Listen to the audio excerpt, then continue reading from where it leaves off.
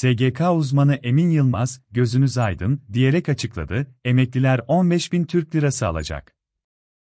SGK uzmanı Emin Yılmaz, o tarihi işaret ederek 15 bin Türk lirası ödemeyi açıkladı. Milyonlarca emeklinin maaşına %24,73 oranında zam yapılmıştı. Fakat yapılan zamdan bazı emekliler etkilenmemişti. Bu noktada maaşları 12.500 TL'ye yükseltilmişti. Maaş zammına ilişkin ödeme ayrıntılarında flash gelişme yaşandı. SGK uzmanı Emin Yılmaz, o tarihi işaret ederek 15.000 Türk Lirası ödemeyi açıkladı. TÜİK'in 6 aylık enflasyon verisi, %24,73 oranında ortaya çıkmıştı.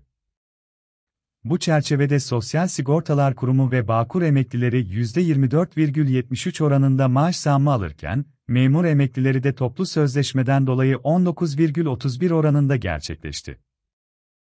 Fakat 8023 Türk Lirası altında kök aylığı alanların maaşı 10.000 TL'nin altında kaldı.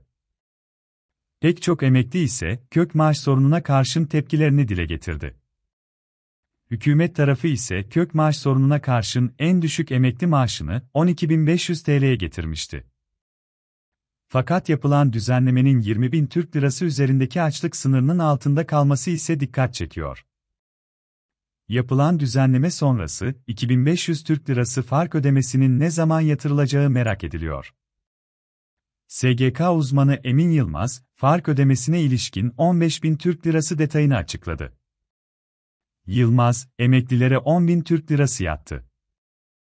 Büyük ihtimalle yasa bu ay sonu geçtikten sonra Ağustos ayına ek ödeme ya da Ağustos maaşlarına ilave şeklinde yatırılacaktır. Eğer Temmuz'da 10.000 Türk Lirası yattıysa, 2500 TL'lik bir fark yatırılacak. Ayrıca 12.500 TL'de Ağustos'ta alınacağı için 15.000 Türk Lirası yatırılacak, dedi.